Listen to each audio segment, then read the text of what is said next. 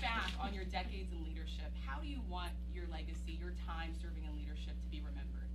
Well, that's a whole uh, subject. Perhaps I'll close with that. But uh, nothing in any of the years that I was there compares to the uh, Affordable Care Act, expanding health care to uh, to tens of millions more Americans, 150 million families having better benefits, lower cost, uh, and, and, no pre-existing condition risking their access, and uh, no lifetime limits.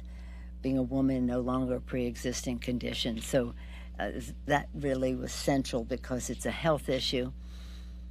It's an economic issue, a financial health issue for families, and it's a values issue for our country. So that, for me, was the the highlight. Uh, the fact that it took inside outside mobilization, as I mentioned about the LGBTQ issues, uh, is was demonstrated also at my unveiling of the portrait yesterday. Is that what you call it, unveiling?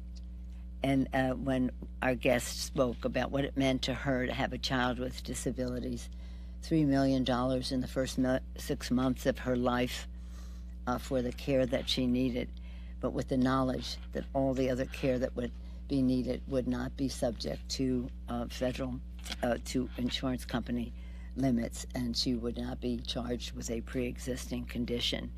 So, again, what we do together, the country. We had 10,000, of which the little lobbyist, and that's what she was representing, uh, 10,000 events in the country in support of saving the Affordable Care Act. So it was not only pass, building up to it, passing it, but saving it. So that took a lot of my time.